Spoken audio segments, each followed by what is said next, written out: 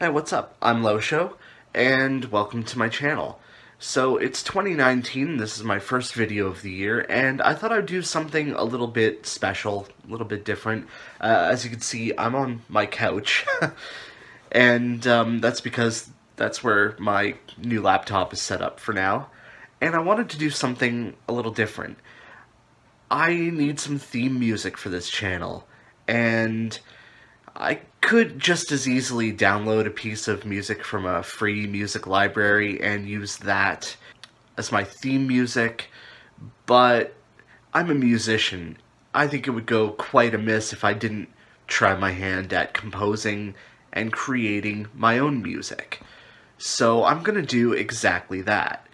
Now, I had had some ideas about should I write a new piece of music or should I use a pre-existing piece of music I've already composed.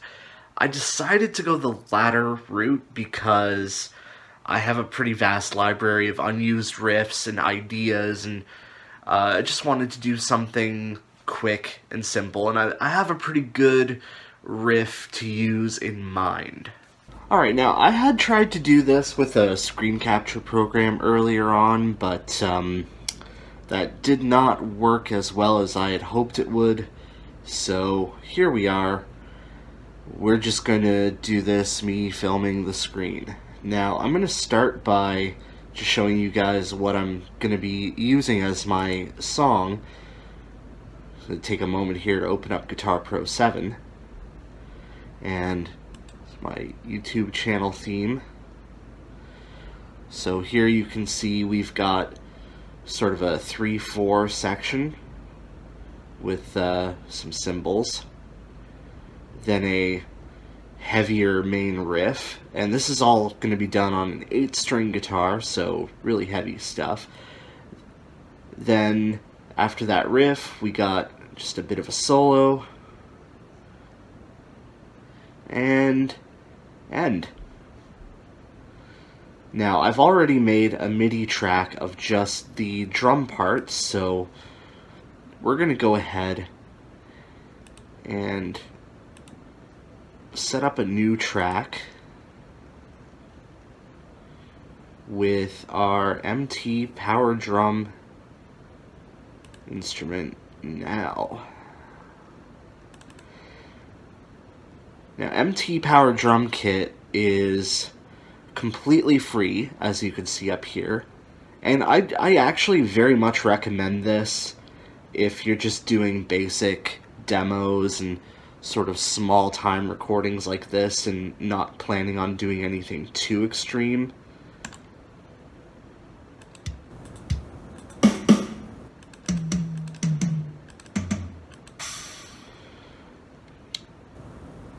Now, I don't really do too much to add to this. Um, I might throw in a little bit of reverb after the fact, but for now, we're just going to leave this as it is. Now, I'm going to insert my media file. Now, mind my convoluted file organization system. There it is, YouTube channel theme drums MIDI. And let's just see how it sounds.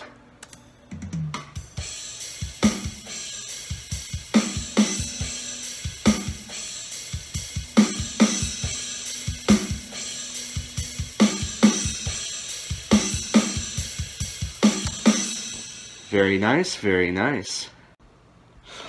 Alright, so now I've got my guitar, which is my Ibanez RG8 8 string, which as you can see has a Seymour Duncan Nazgul set up in the bridge, and is otherwise bone stock.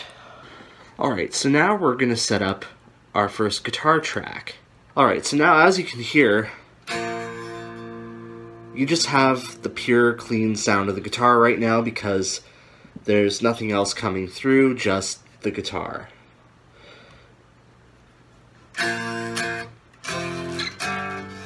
That's obviously not the tone we're going to want for this, so we're going to go in and we're going to pick an amp simulator. And the amp simulator I like to use for all of these productions is another free piece of software. It's called the Emissary by Ignite Amps. And as you can see, it has an interface that looks a lot like a real amp head. Now, I'm going to start by flipping the channel over to the red channel. You can hear that it introduced a bit of noise. Now, on its own, this is not going to sound very good. It kind of sounds like a fart. That's because it needs a cabinet simulator. So I'm going to use Rosen Digital's Pulse, which is a free cabinet simulator uh, loader. There's a loader for cabinet impulse responses, and then you can download your own impulse responses to load into it. So, I'm using an impulse response that actually comes from my Hughes & Kettner TubeMeister 18 amp a proper tube amp.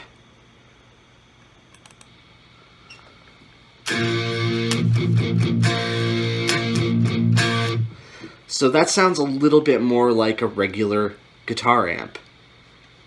However, it still needs a little bit of a boost.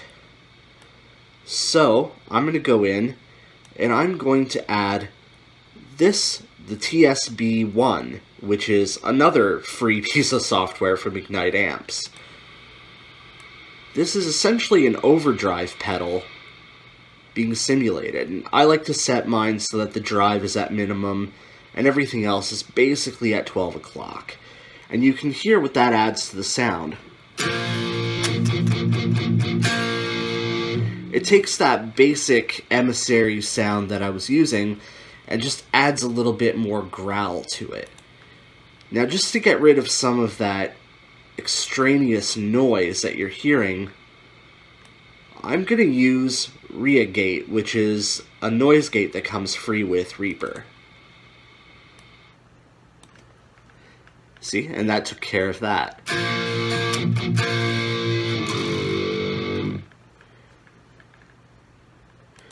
Now, the sound does need a little bit more tweaking which I'm going to do with this equalizer.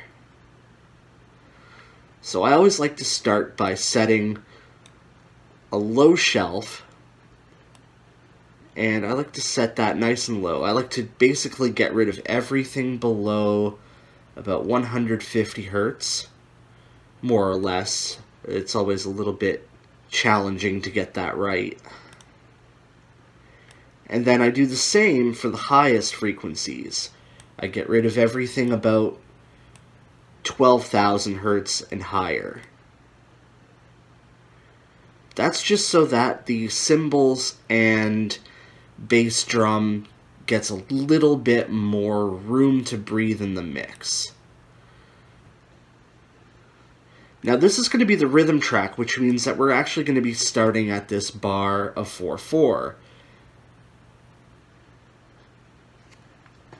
So let's get started on recording the first rhythm track. Always remember, turn on your metronome.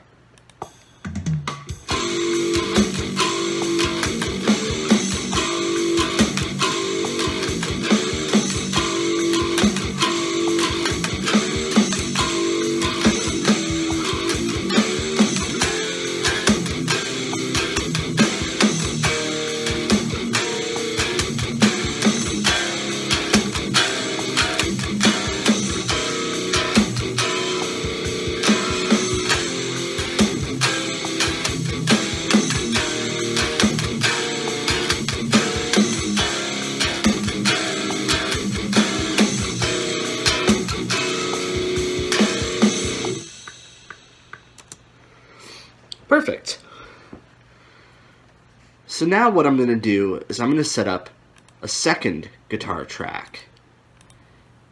And we're basically going to set this one up exactly the same way. I'm going to start with my tube screamer. Now I'm going to do this in the proper order of the signal chain. I'm going to add the emissary we're going to add our cabinet impulse response. We're going to add our noise gate, and we're going to add our EQ. We're going to do the same thing that we did for the first track, and just get rid of anything below 150 hertz. Now it's not exact, I'm doing 160, and when you see I drag it down, it kind of just does whatever. And above 12,000. Now I'm going to take that first guitar track we recorded and set the pan all the way to the left. And then I'm going to pan this track all the way to the right. And we call that double tracking. And that just means that you're you're taking your guitar parts and you're doubling it, which makes it sound even beefier, even heavier.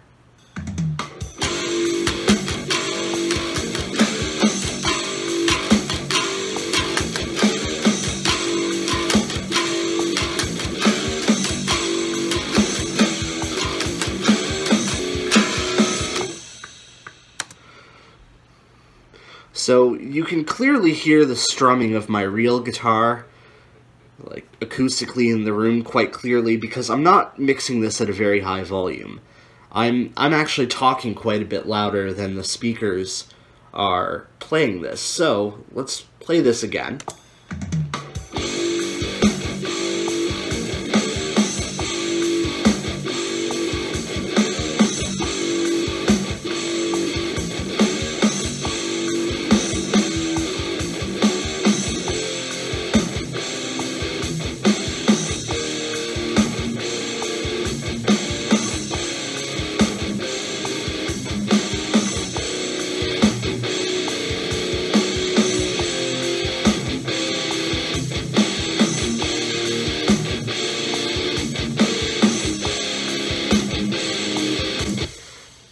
So what I'm doing now is I'm doing a little bit of tone sculpting because I didn't do any EQing at the amp yet.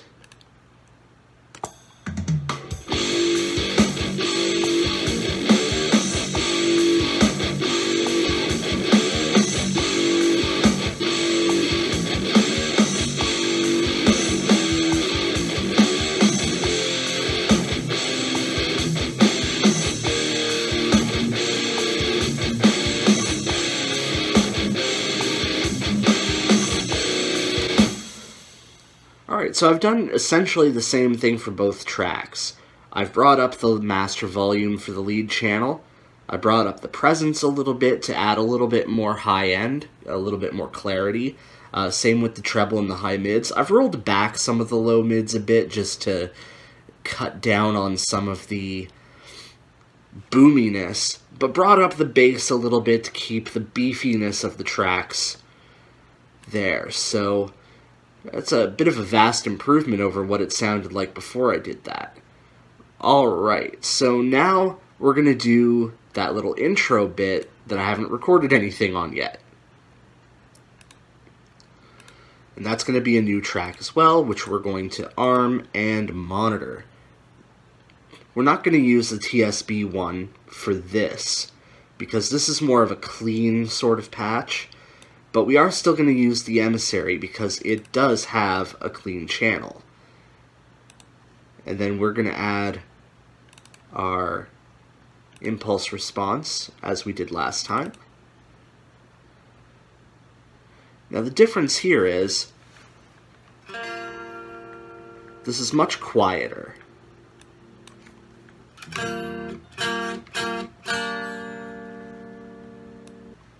I want a little bit more treble, a bit more mids, and quite a bit more bass.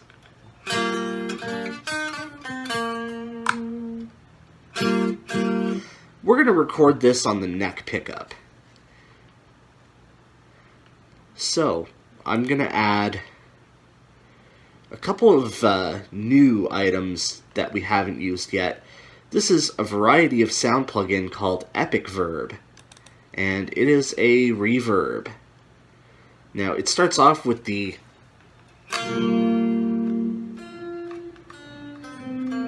dry wet knob already at maximum, so we're going to bring that down to about half.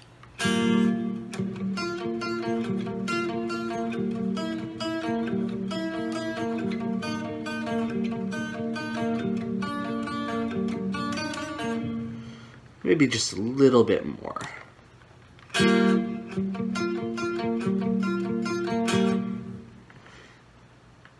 Now, as if the reverb wasn't enough, we're going to add some delay as well.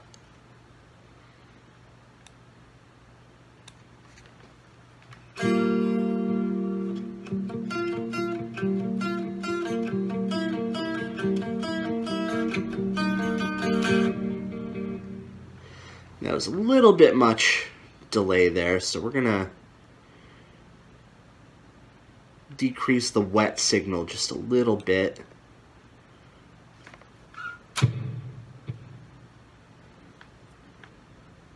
Let's bring this down to 3 eighths notes.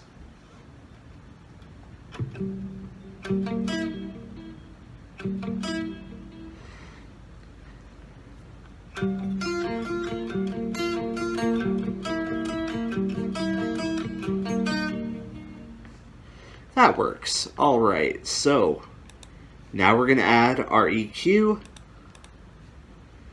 And it's going to be the same thing. We're going to roll off the lowest parts of the EQ spectrum.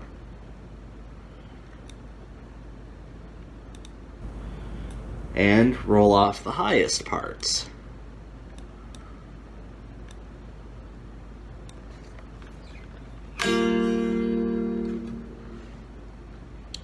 Now, I think we could still use a little bit more volume, but I'm also going to add some more presence and a bit of depth.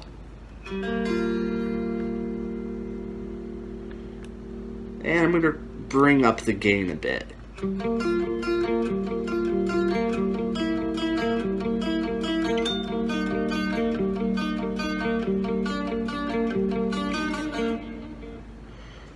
That's sounding pretty good. Alright, let's go and record that part.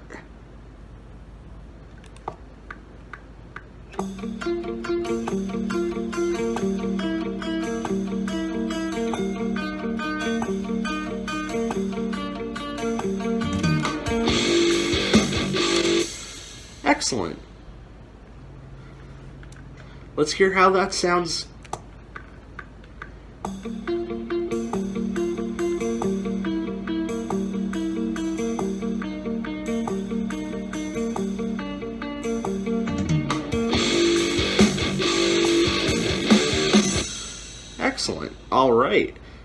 So now we're on to the last track for the guitar, and that's going to be our lead guitar solo bit. So we're going to start with, of course, our TSB1 from Ignite Amps. I'm actually going to put the boost on this time. We'll see how that works. We might take it off later if we find it doesn't work. But now we're going to add that delay to our sound again. Because this is our lead guitar tone and we want something that sounds really musical and really cool. So,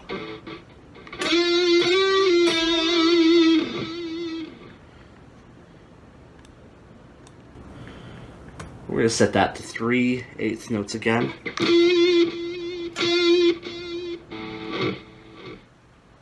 And we're going to go back to our bridge pickup.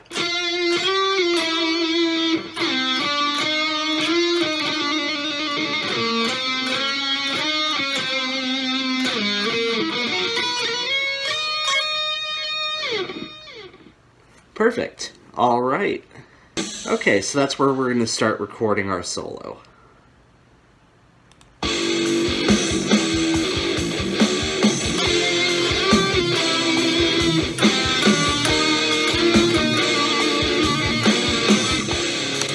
Well, that was a bad take. Let's try that again.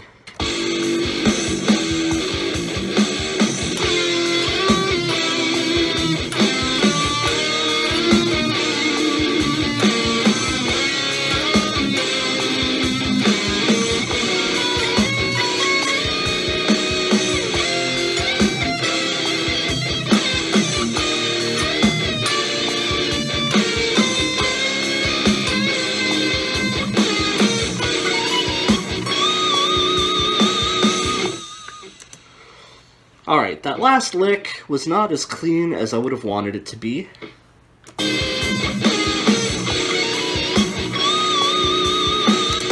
But that's okay, we can punch that in. I'm just going to get rid of the bit where that lick would start.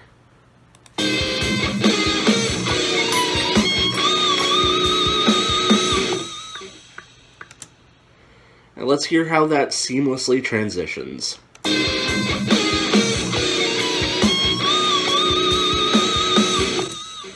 You can't even tell that there's a break there. So that's the last of our guitar tracks, and then we're going to move on to bass. Alright, so for our bass track, I've got this Squier Affinity Series P bass. Probably the cheapest bass you can get. I call this my sticker bass because, well, duh. And um, I have this tuned right now to B, E, A, D, like the bottom four strings of a five-string bass. So, without further ado, let's move on to tracking our bass part. So I'm going to start with our bass amp. And Ignite Amps, I'm totally shilling for Ignite Amps now, has this SHB1, which is sort of their 1300 watt extreme bass head simulator. Now that actually sounds pretty good on its own, but we're also going to add our speaker simulator. This time I'm going to look for an impulse response that is specific to bass amps, and I found this Ampeg SVT. Okay, I like that one, the Ampeg SVT Beta 252. Now, I'm going to add Reacomp, which is a compressor. Now, I don't know much about how to set the compressor on these, but I know that this one has a bass setting.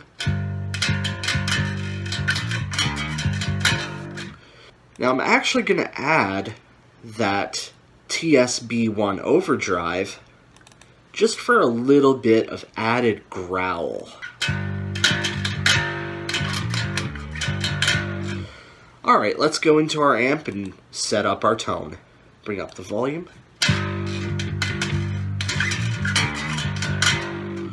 Bring up our treble and our mid.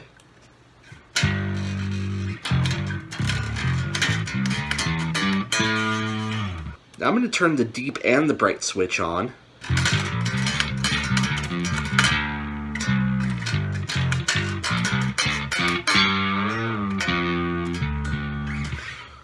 Alrighty, I'd say we're ready for our bass track.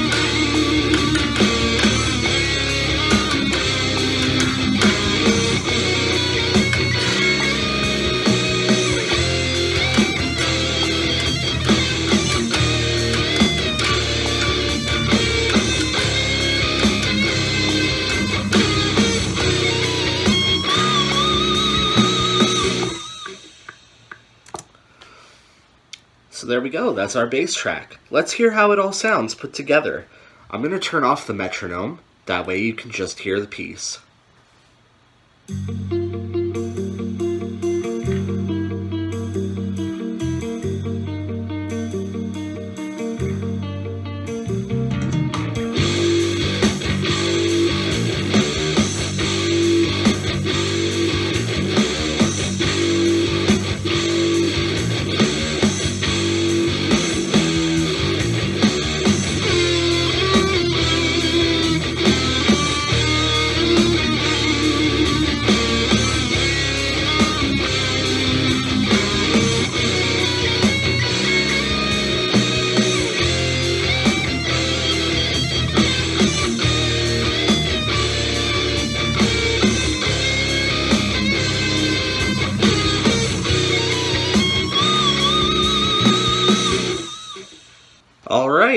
There we go. That is our finished theme song.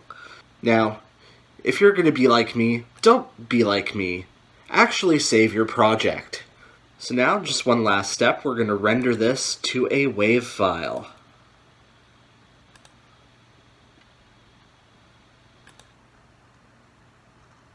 And there you have it. A new theme song for my channel. Thank you guys for all subscribing, and I hope uh, to bring you some more quality content like this throughout 2019.